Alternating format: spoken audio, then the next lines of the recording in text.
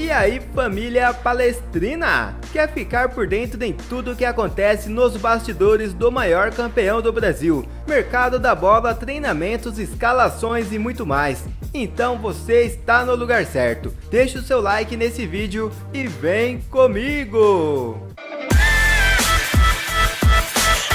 Palmeiras tem dívida de 5,3 milhões com Penharol por Piquerez e clubes agendam reunião por acerto. É isso mesmo. O Palmeiras ainda não pagou ao Penharol uma parcela atrasada avaliada em 1 milhão de dólares, 5,3 milhões pela compra do lateral esquerdo Joaquim Piquerez. O Alviverde tem uma reunião agendada para esta sexta-feira com representantes do Penharol, além do defensor do River Plate do Uruguai, clubes que detêm partes econômicas referentes ao atleta, para encontrar uma solução para o problema. As informações foram apuradas pela ESPN. O Palmeiras paga ao Penharol uma parcela mensal pela aquisição de Piquerez, que apenas uma está em atraso. A ESPN apurou ainda que o Verdão sofre com problema de fluxo de caixa e por isso não não teve condições de realizar o pagamento na data. Ainda de acordo com a apuração da reportagem, o Palmeiras negocia diretamente com o Penharol o pagamento da dívida. Caso o Alviverde atrase ainda mais, haverá uma multa de 10% em cima do valor total, além de mais 10% de juro, o que fará com que a soma total fique ainda maior. Contratada em julho de 2021 pelo Palmeiras, Piquerez custou algo na casa dos 3,8 milhões de dólares, 19,7 milhões. Na época, o Palmeiras costurou um acordo para parcelar o pagamento do lateral esquerdo em quatro vezes, até o final de 2025. Bom, mas e aí palestrinos, na sua opinião,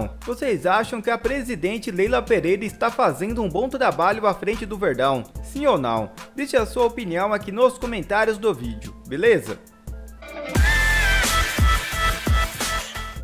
E já mudando de assunto, Leila Pereira se encanta por meio campista de 29 anos e estuda a proposta para o jogador substituir Scarpa. É isso mesmo, Leila Pereira e Anderson Barros já planejam a temporada de 2023. A grande prioridade da diretoria é contratar um substituto para Gustavo Scarpa, embora tenha trazido Bruno Tabata para a função. A dupla quer mais um atleta para essa função, e um nome que agrada é do meio campista Lorenzo Faravelli, do Independiente Del Valle. O jornalista Felipe Facincani disse no programa Tá Lá Dentro que o profissional de 29 anos de idade pode ser o primeiro reforço para 2023. A análise de desempenho do Palmeiras avaliou muito bem o nome de Faravelli, jogador de 29 anos do Independiente Del Valle, 12 participações em gols em 38 jogos nesta temporada, 8 gols e 4 assistências. Ele joga na mesma posição de Scarpa, é um meia de controle por dentro, não é um jogador agudo, é um jogador mais de organização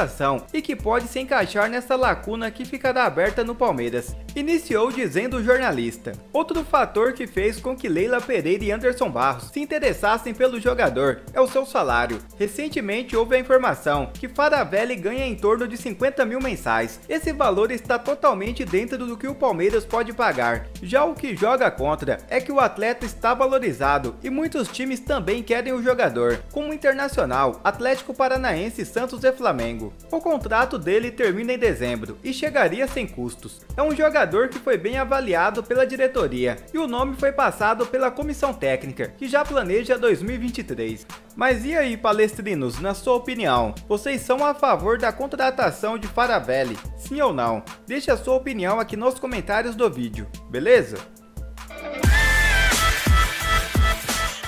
Não quer perder mais nenhuma novidade do seu time do coração. Informações sobre bastidores, mercado da bola, treinamentos, escalações e muito mais. Inscreva-se agora mesmo no canal, ative o sino das notificações e não perca mais nada. Fiquem com Deus, aquele forte abraço e eu te espero aqui no próximo vídeo.